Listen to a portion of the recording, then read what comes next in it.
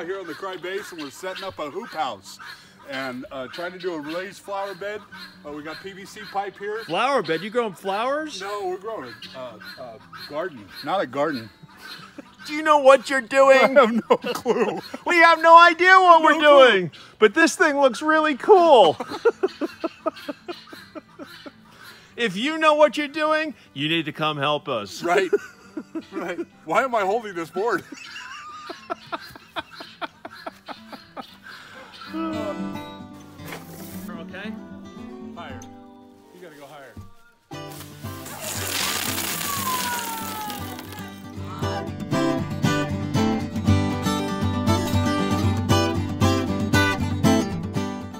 Might be thinking, you know, when you look at CRI and crisis response, um, you know, you might be thinking tornadoes, earthquakes, hurricanes, and mucking out houses or picking up debris, and all of those things are crisis response.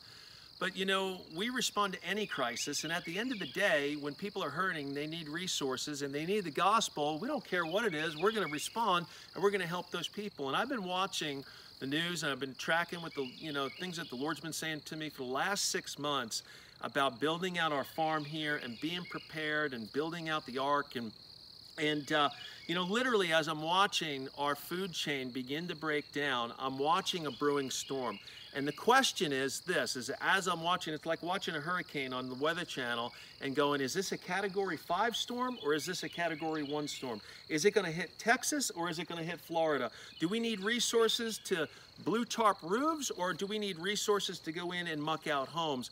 And that's exactly what I'm watching as I'm watching this. Uh, this event brew and the economic fallout of COVID-19 and and you know, at the end of the day, I just wish this would all go away and we can go all go back to normal, you know. And uh, but the likelihood of that is probably nil. And and uh, I hope it's a Category One storm. But I've had confirmation after confirmation to begin to move towards this and begin to prepare uh, our farm and build out. We have livestock coming. We got uh, a half dozen sheep coming tomorrow. We're I got 800 pounds of seedling potatoes going to pull up here any minute now. We're going to start getting food in the ground.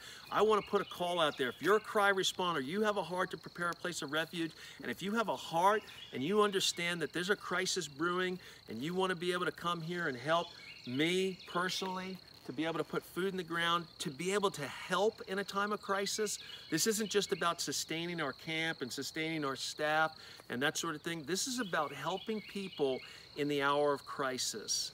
And right now, what we're looking at is uh, really an economic meltdown uh, and um, and food shortages. Uh, and all you got to do is turn on the news, and you'll see that that's a real reality right now. So I want to encourage you to come volunteer short term. If you have a heart to do this, if you know how to farm, garden, take care of livestock, animals, that sort of thing, come jump in, help me out. I'm up here working away up here.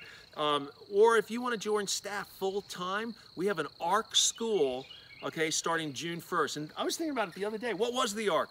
The ARC was full of animals and it was full of food. And so why aren't we doing this here? And so we need help building this out, guys. It's a lot of work.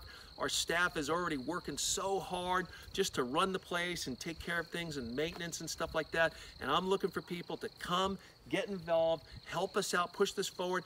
And if you want to donate towards this, guys, this actually takes a lot of money. And it, you know, think about Noah building the ark. You know, over that period of time, people must have thought he was crazy, and you know, probably needed a lot of resource. And so we could use your help with that as well too. But you want to come help me out here? I'd love your help. Just go ahead, go on the website and uh, fill out the application to uh, to volunteer or go and pray and ask the Lord about coming and joining the ARC School June 1st. So God bless you guys. We're praying for you, and uh, we'd love to see you up here real soon. God bless.